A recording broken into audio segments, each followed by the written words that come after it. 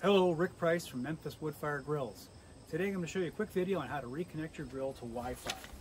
Uh, on our website, support Wi-Fi, you can print out instructions that tell you about the uh, LED light on the Wi-Fi card.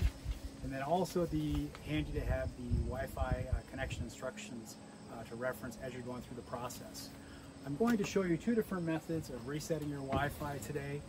One will be uh, simply power cycling the controller. The second would be pushing the reset button on the Wi-Fi card itself. What I'm going to do first is power cycle the grill right from the uh, controller. So to do that process, I'm going to first, by starting the grill up, I'm going to go to Menu, Next, Wi-Fi. I'm going to go ahead and turn Wi-Fi off. This will put the grill back into the provisioning mode after I do the power cycling. So I'm simply just going to disconnect it from power without turning the controller off and uh, we'll be back in one minute. I've completed my one minute cycle time and I'm going to go ahead and touch the power button here. Menu, next, Wi-Fi. I'm going to turn the Wi-Fi back on and then immediately hit setup.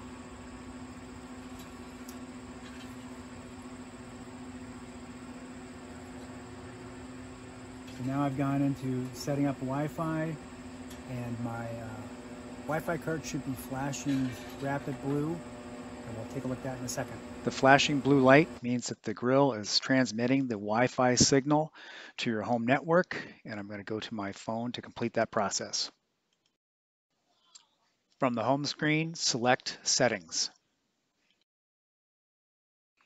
Select Wi-Fi and look for Memphis Grills.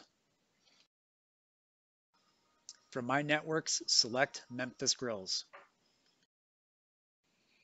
Search for access points in your network. Select the network closest to zero for the best signal strength.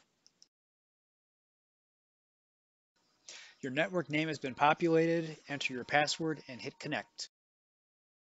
The connection screen has closed and you're now connected. Let's go to the app.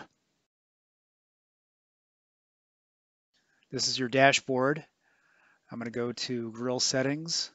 I'm going to adjust my temperature, submit those changes, and hit OK. Now we'll take a look at the grill.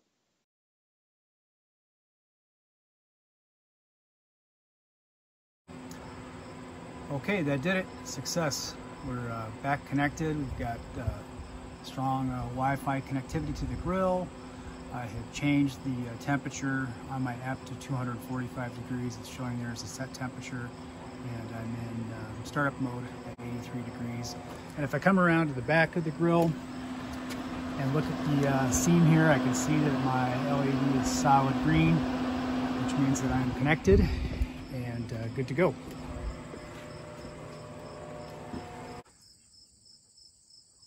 Well, it's bring your dog to work day.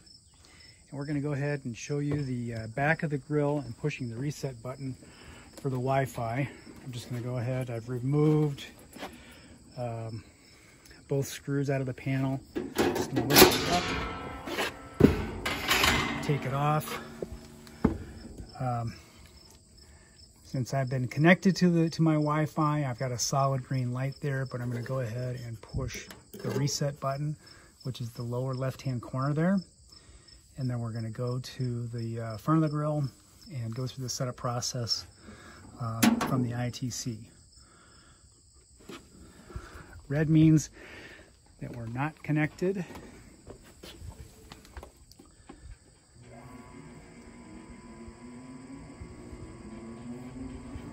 Menu, next, Wi-Fi, setup, Right now it's showing that I am connected. Now it's going into the provisioning mode to reconnect the network. And um, from here you'd simply go to your phone and go through the process that we just outlined a minute ago and you'd be connected. Stop.